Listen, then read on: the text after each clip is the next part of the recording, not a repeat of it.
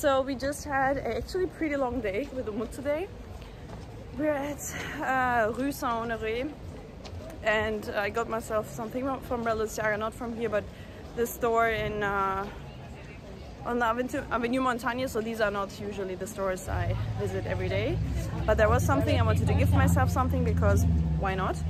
And uh, also got himself something, so now we're heading to Marais to have a drink somewhere and have a look at some vintage stores. And uh, I just bumped into someone who's watching my YouTube videos from the US, which is super surprising because, oh, sorry. uh, no, I have most of my viewers from the US, which is pretty insane and um, it's not been the first time someone bumped into me and told me that so that makes me incredibly happy and um, yeah that's very cool so very having a lot of endorphins right now and now we are going by metro because I think we made like 15,000 steps today probably um, and in the evening in the night we will go out so we'll have a drink go to some vintage stores go home not nap, but chill a little and then get out again. My sweetest Umut from Istanbul, who is the most beautiful human being I know. If someone has a model agency, please call them because someone's underrated as fuck. Okay.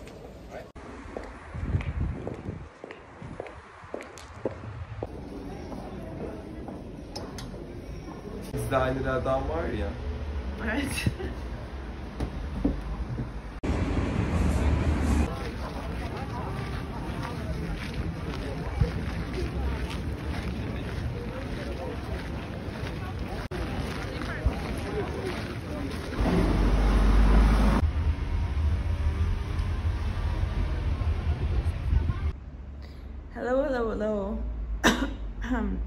So guys it's actually moving day. As you see my wardrobe is super empty now. Everything is empty. And now I can show you the apartment maybe because I was kind of scared of showing you uh, while I was living here because I mean while I was living here because you never know.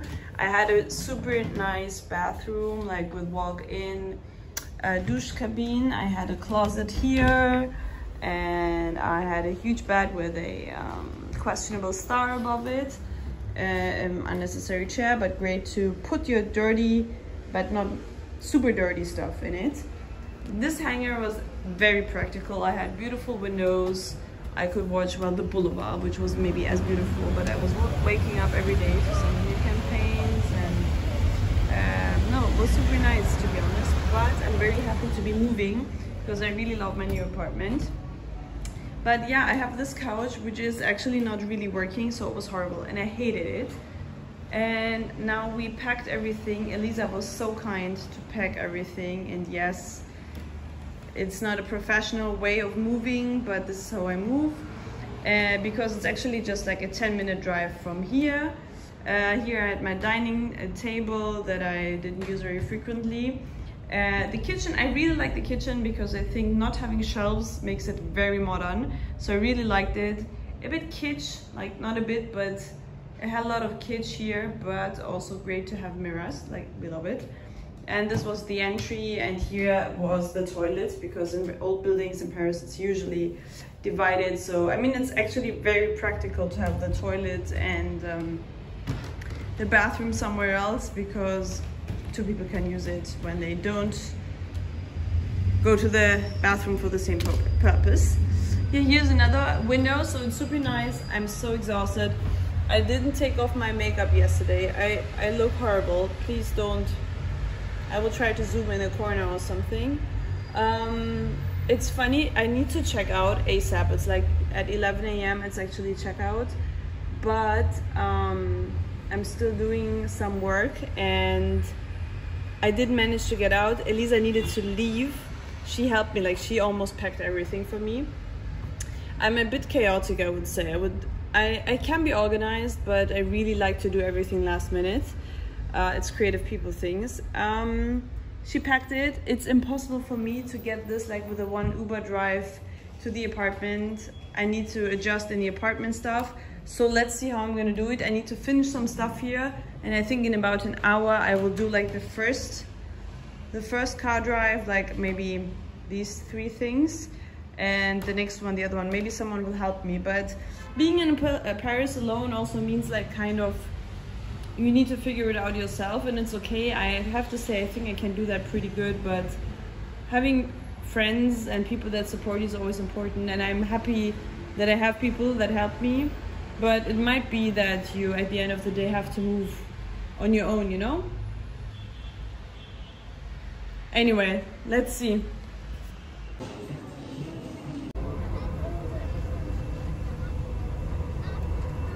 So we've been to Bon Marché and um, actually just got some towels. And now we're going to uh, a concept store called Merci, Merci uh, which has extremely nice stuff. Umut was here from Istanbul and we actually wanted to go here but we didn't manage. They have everything from furniture, fashion, also like Japanese brands and stuff.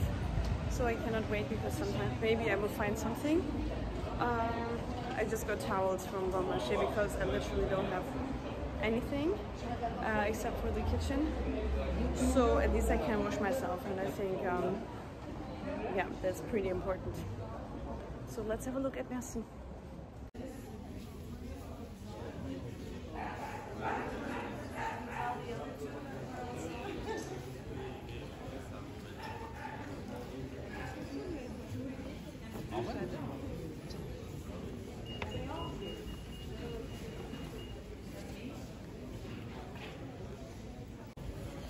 I actually like the fit of this one, but not the color and see which brand it is.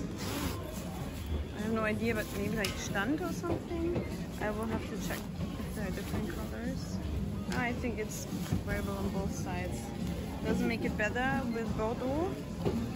And it's a label called, uh, oh okay, that's pretty famous I think. And it's, much? 650, okay. I would say not worth it.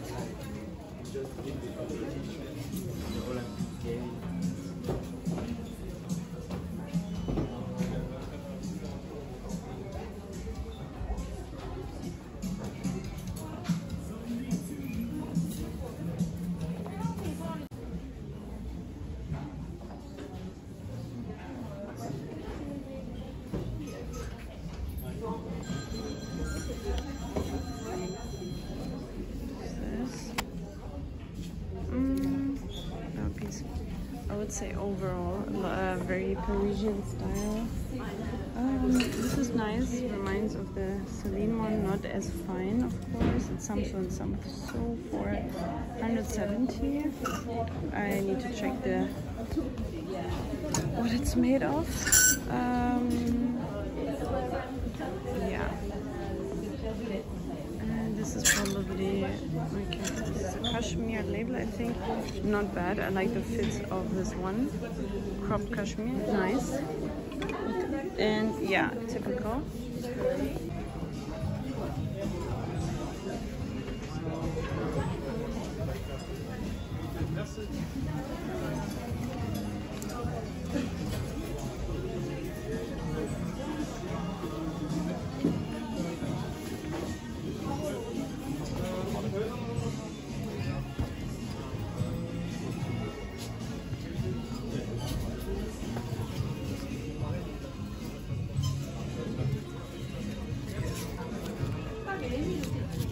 Much, babe?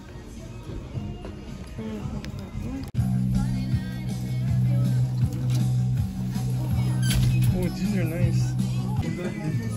Found a German label doing like wool knits called Heimat. Also made in Germany, which is pretty cool.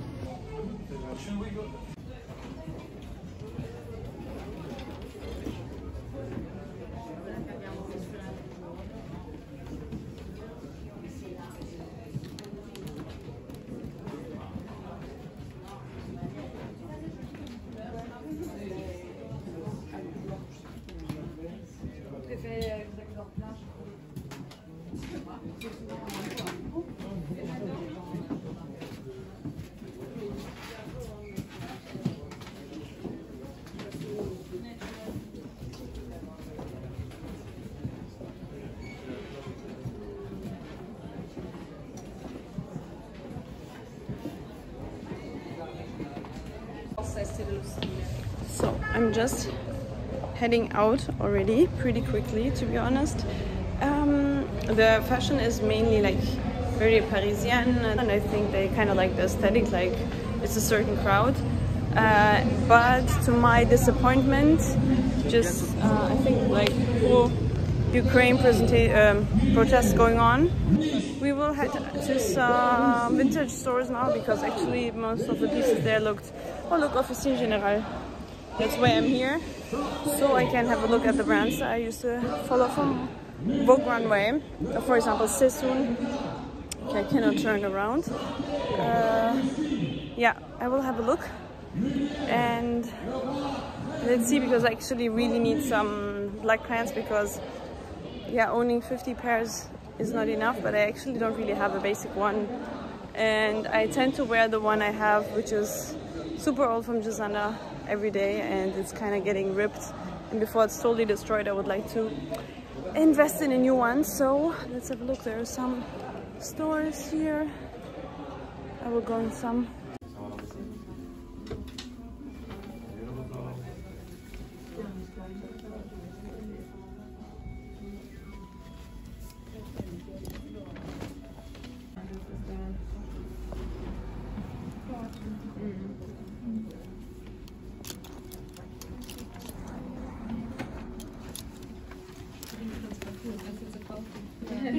Wie Leute das wieder sehen, so, wir müssen es auch.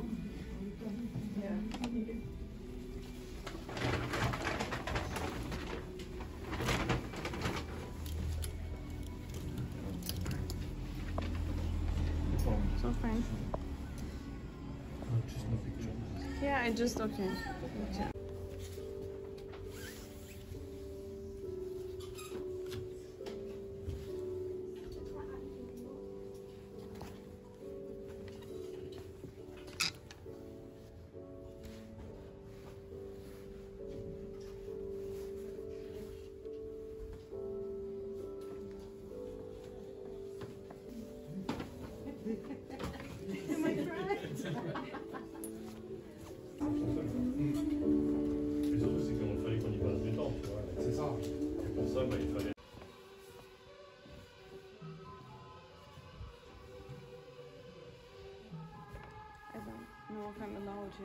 That's why I'm not filming.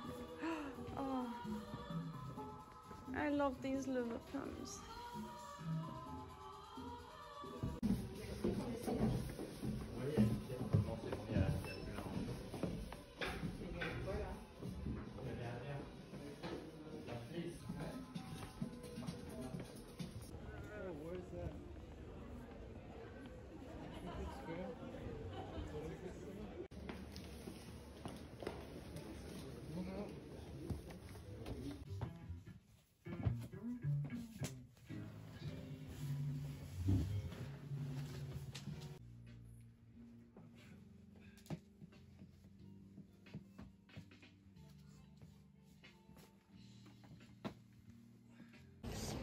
So um, we were at a concept store called Tom Greyhound.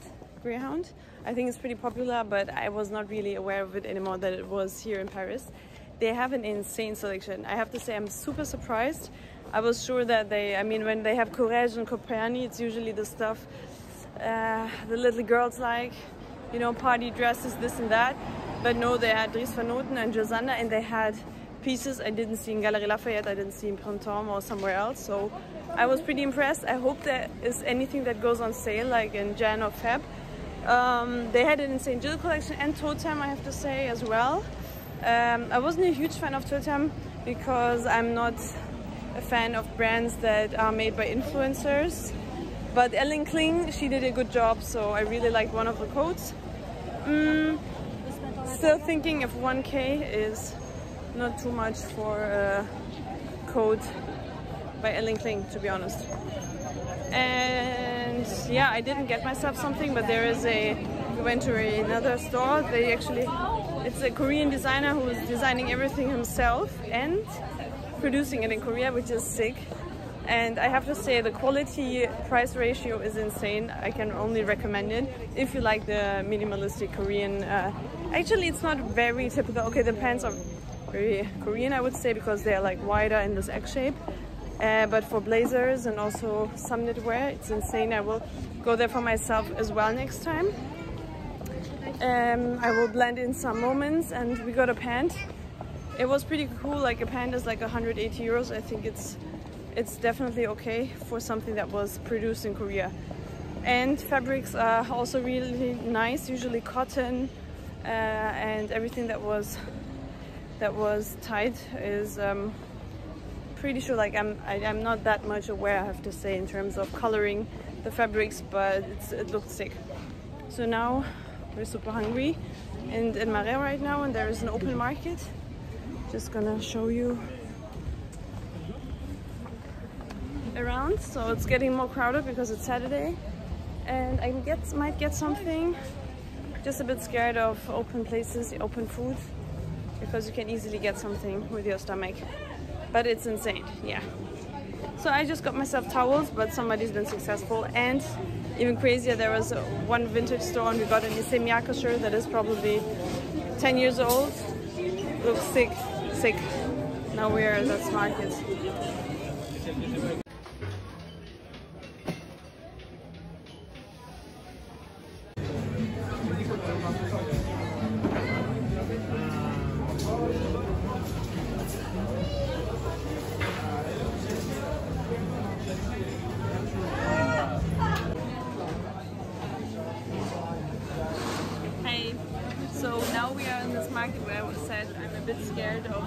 markets that uh, have food because I'm never sure, but this is a very popular one in Marais. How is it called again? Marché des Enfants Rouges. Yeah, exactly. Um, des Enfants Rouges, exactly, yeah, I knew it. And here is a place, it's like the most popular place to sit and they have natural wine. So, and we didn't eat anything, any proper food today, so we're gonna get some natural wine, a piece of bread and some butter, so it's like the best the best you can have here um, as evening food, I would say. But I love the vibe. It's it's pretty cool. You know, the guys from the fish market are working like behind you. Uh, it's uh, it's really like a really nice atmosphere.